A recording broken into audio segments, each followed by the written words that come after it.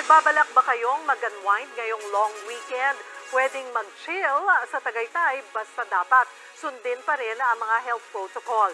Naroon ngayon live sa Tagaytay si Marian Enriquez. Marian, gaano na ba kalamig dyan?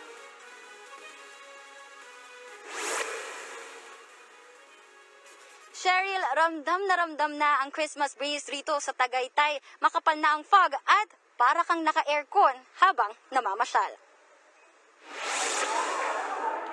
Malamig na hangin, masarap na pagkain. Para sa mga kapatid nating naghahanap ng mapupuntahang pang-distress ngayong long weekend, swak na swak bumiyahe rito sa Tagaytay. Dalawang oras lang ang layo nito mula Maynila.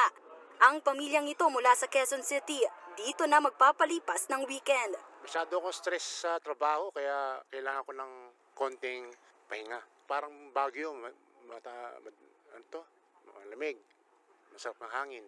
Ang bagong kasal na sina Mr. and Mrs. Atienza mula Las Piñas. Dito mag-honeymoon. accessible siya and since hindi naman pwedeng mag-travel pa outside the country, so mas pinrefer namin yung medyo mas malapit sa Manila. sa Manila napakainit. So, ramdam na dito sa Tagaytay yung Christmas feels, kumbaga.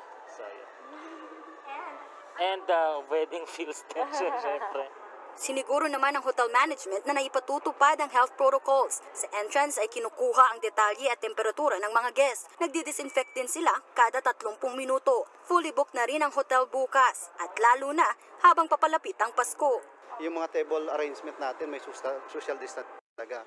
But of course, kung mga family naman, like for example, mag-asawa, okay naman na magkadikit silang dalawa. Yun nga lang, bawal ang mga bata. Mga edad 15 to 65 years old lang ang pinapayagang mag-check-in at mag-dine-in sa mga restaurant. Kaya yung may mga kadate lang muna ang makaka-enjoy ng masarap na bulalo. It's great. It's really uh, fresh and the air is clean. It's like being in New Zealand.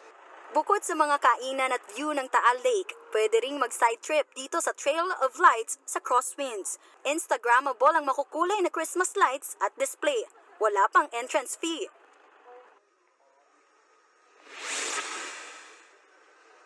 Cheryl, bukas ang Trail of Lights dito sa Crosswinds mula 8 a.m. hanggang 8 p.m. Samantala, light to moderate yung traffic na nakita natin dito nga sa main roads ng Tagaytay City. Pero asahan na mas bibigat nga yung daloy niyan pagdagsa ng mga turista bukas. Cheryl? Maraming salamat, Marian Enriquez.